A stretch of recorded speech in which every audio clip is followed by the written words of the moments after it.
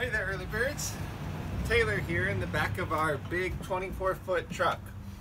As you can see, it's completely full. This is stuff from various estates throughout LA that weren't big enough to do an entire estate sale, but we still wound up making a deal and getting all this great stuff. That means we're doing another yard sale this weekend, Saturday, June 15th from 7 a.m. to 2 p.m. in Altadena. So, obviously, it's all packed up. We don't even know what's in here, really. Once it's unpacked on Friday, we'll send out a second email with all the photos. So be on the lookout for that.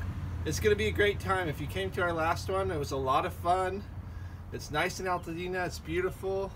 We're going to have the lemonade stand set up. Gil's special lemonade stand.